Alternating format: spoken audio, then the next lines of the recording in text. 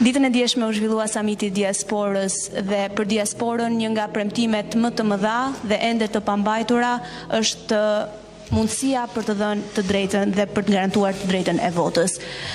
Duke qenë se ka një vendim të Gjykatës Kushtetuese që vendos me përgjegjësi Kuvendin për të hartuar kuadrin ligjor, çfarë garancie dhe çfarë konkretisht po bën mazhoranca që t'u mundësojë të drejtën e votës diasporës për zgjedhjet e ardhshme, duke qenë se nuk janë larg. Faleminderit. Nuk është, nuk është fare problemi tek çfarë shkruhet në ligj, problemi është tek regjistrimi. Në mënyrë që të kemi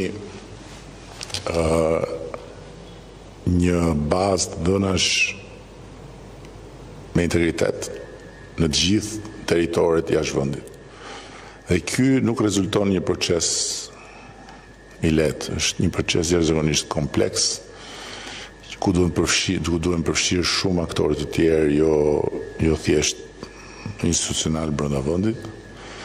Dhe ku duhet edhe angazhimi i vetë njerëzve jashtë. Kështu që edhe tentativat e, e, e bëra për ta kuptuar procesin duke